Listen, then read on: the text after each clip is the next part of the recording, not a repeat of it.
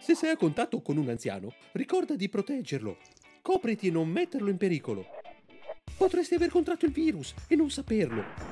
Il coronavirus attacca soprattutto i più fragili. Non fare il dinosauro, stai attento. Noi non ci estingueremo, andrà tutto bene.